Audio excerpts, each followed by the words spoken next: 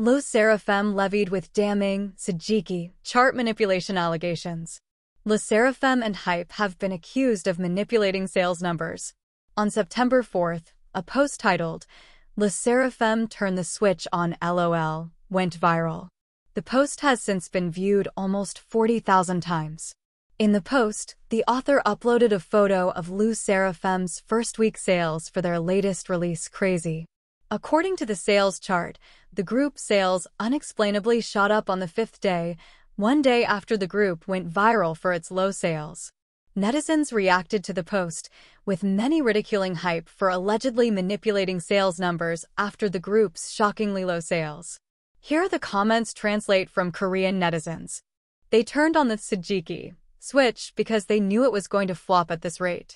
No wonder HYBE is broke. They spend all their money on buying albums. LOL, this is seriously pathetic. Coincidentally, they released a statement on Hanteo chart and are claiming the numbers are organic in online communities. What are your thoughts on this matter? Please note that all of the statements mentioned are allegations.